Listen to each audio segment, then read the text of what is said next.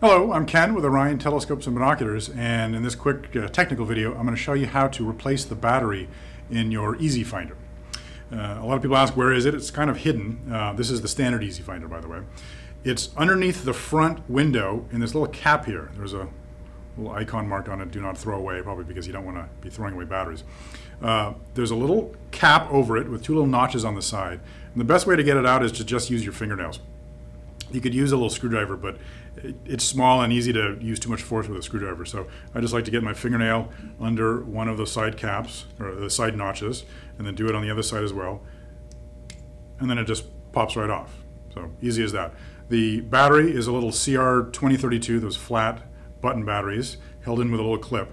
So just slightly loosen the clip and let the battery fall out. Don't pry the clip out too far because it, you, you, don't want to bend the clip. And the battery just pops out, put the, uh, a new one in. It goes plus side facing outwards. So when you slide the new battery in, make sure the plus side is facing outwards and then just pop the cap back on like so. Easy enough. Thank you very much. Clear skies.